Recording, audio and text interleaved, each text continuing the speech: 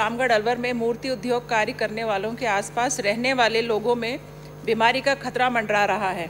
पत्थर घिसाई से उड़ती धूल से टीबी और सिलिकोसिस की गिरफ्त में लोग आ रहे हैं तथा पत्थर घिसाई कार्य से उड़ने वाली धूल के कारण लोगों के फेफड़ों पे जम रही धूल की परत से बेपरवाह खनन क्षेत्र के मजदूर और आसपास रहने वालों को सांस फूलना, खांसी, बलगम और बिना बलगम के खांसी में रुकावट, घबराहट, छाती में जकड़न जैसे लक्षण हो रहे हैं। एवं ऐसे लोगों की भी काफ़ी संख्या है जो ऑक्सीजन की कमी से दम घुटकर मरने के कगार पे हैं।